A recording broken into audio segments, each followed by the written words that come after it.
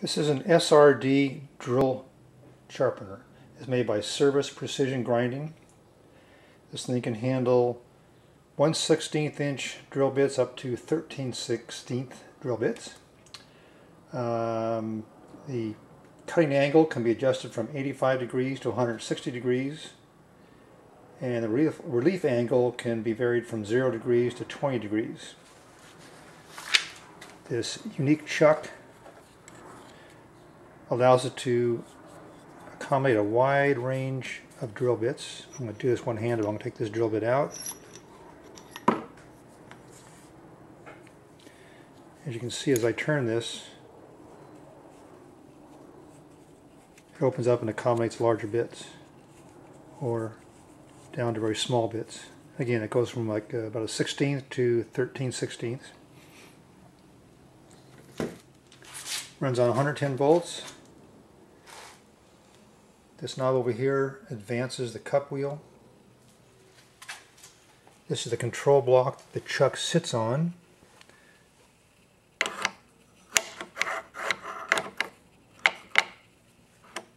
There's a stop. So when you put it down, the chuck is up against this back wall here and this stop. So it's very repeatable.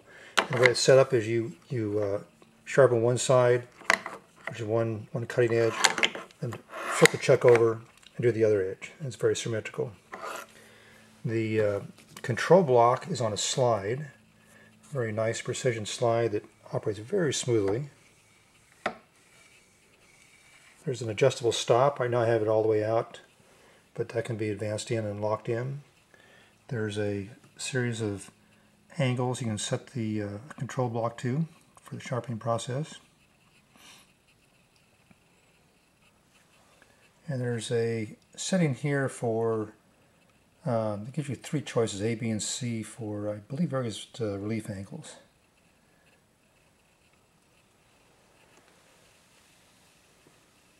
It's very high RPM. This motor runs at 5,000 RPM, so it gets a really nice finish on the drills.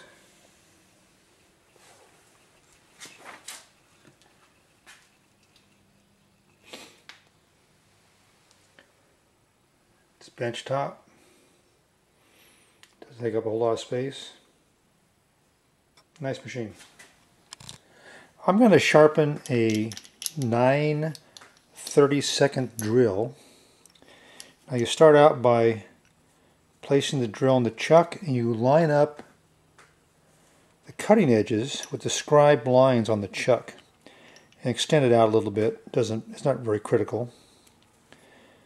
Get that just right before I tighten it. That's about right. Okay. I've set the control block to 118 degrees, which you can adjust by loosening up the set screw down here with a eighth inch Allen wrench. Now I'm going to be sharpening this on the inside of the cup wheel. I have to adjust the position of the wheel, the left hand side knob. Here we got just a little bit of contact there. So I'm going to turn it on. We're going to sharpen one edge. We're going to turn it over to the other edge. And we'll advance the uh, cup wheel a little bit at a time until I get a full grind. And we'll show you that.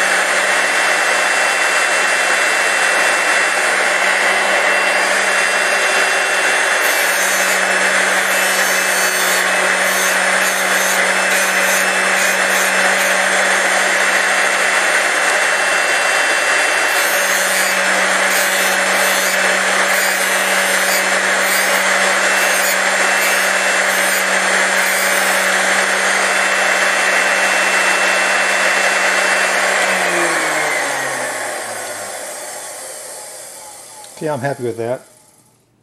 So it's a faster process when you have a, a drill bit always been sharpened to the machine and the, and the geometry is the same. This was a older drill bit, but now I've got nice sharp cutting edges, beautiful finish.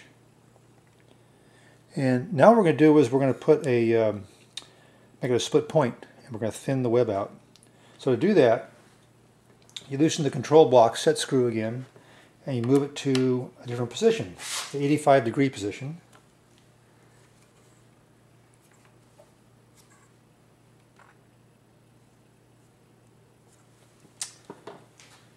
And in this mode, you're actually using the back side of the wheel to do the grinding. And, as, as, and also, we have to rotate the drill 9 degrees. So we'll make those cutting edges about 90 degrees to the scribe lines. If you can see that.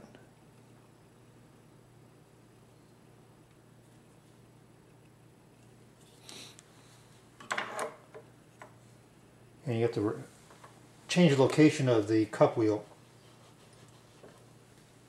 So if you can see that now, we're working on the back side of the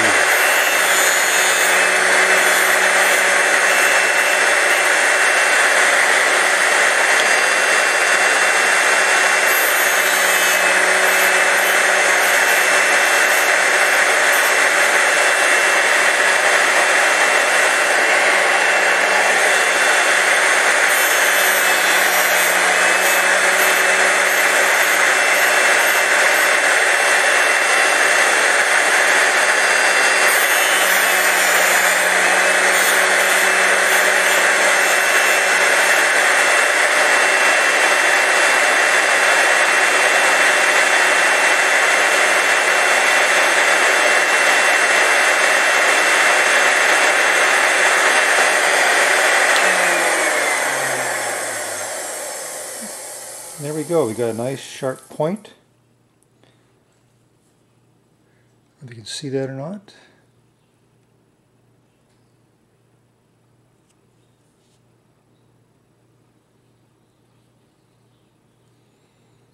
Sharp cutting edge, nice sharp point.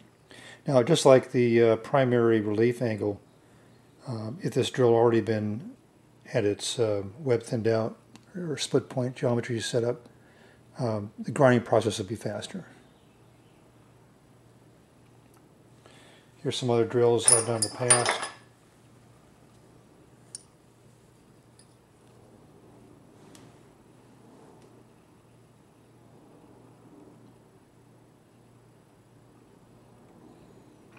Makes for nice sharp drill bits, um, fast cutting. Can even avoid having to do a pilot hole sometimes, most of the time. I mean, that's the machine.